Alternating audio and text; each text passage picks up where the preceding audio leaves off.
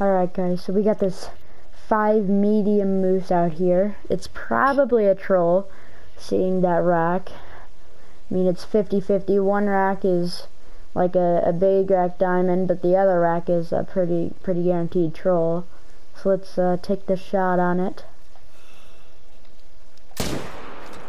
That's a good shot. It's gonna start. Yep, going down. And let's go and claim him. It's pretty decent. It's got huge paddles, that's for sure. On one side he has decent shovels. Let's see. No, can't do that anymore. Yeah, he is a diamond. 278.30. It's pretty decent. Alright, inspect.